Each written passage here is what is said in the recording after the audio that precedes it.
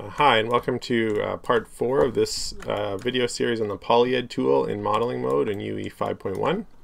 Uh, in this video I'm going to go through the inset and outset tools.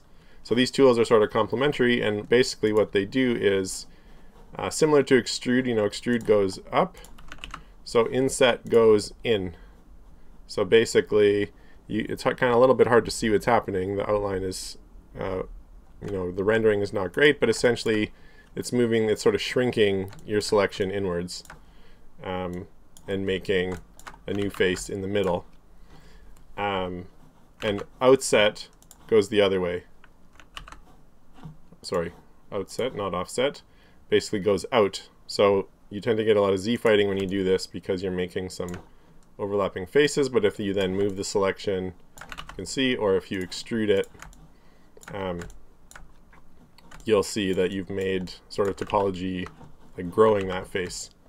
Um, they work with multiple selection like this, so I keep hitting the wrong thing. Inset here will inset those combined faces uh, and make two new faces like that. It won't inset each face individually. Um, you know, we can do that multiple times and make sort of nested faces and things like that.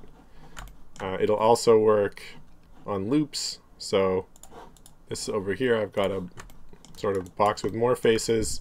I can even do stuff like select uh, a loop of faces, inset. Um, of course, in the corner here, it made a kind of funny shaped face because of the topology, but that's sort of inherent. And so just with sort of insets and extrudes and, and things like that, insets and outsets, you can make uh, sort of these um, more complex face topologies. I guess here I kind of shrunk the face. Uh, this the sizing is based on one of the selections. You see that there's a little line there that's showing me the distance from the boundary that I'm insetting. Um, okay, so that's the basic inset and outset uh, on kind of low poly models. It also works on higher poly stuff, so I'm going to just make a sphere here because there's some options that only apply when you've got interior vertices. So right, the sphere, uh, we've got these complex polygroups.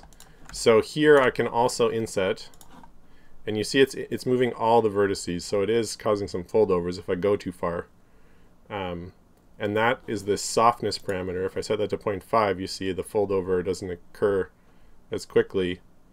Um, and I can really turn that up, and it'll uh, basically kind of smoothly deform the entire inside. Um, reproject, when a reproject is on, it projects back to the input sphere. So you see even when I inset really far, it stays on the surface. You can turn that off, and then you'll see that it kind of is going to grow um, off the off the sphere. It's a little you got to find the good direction to do it from. Um, generally, I leave reproject on there. Uh, and then there's some advanced options. So if you only wanted to do the boundary vertices, um, you can turn on boundary only, and then it won't inset that interior. Um, and when you're insetting the interior there, you can change this area scale to sort of nudge it a little bit. It's quite hard, but you can see here that inside, further in vertices are squishing more. And we put that back out, it squishes more around the outside. Um, so that's the inset operation. That can be useful right? So now you see it made that inset face there, um, you know, which then I can extrude and stuff like that. So that can be useful when you're trying to do poly modeling on sort of higher res meshes where you've constructed a group topology for curved faces. Um, and outset works a similar way.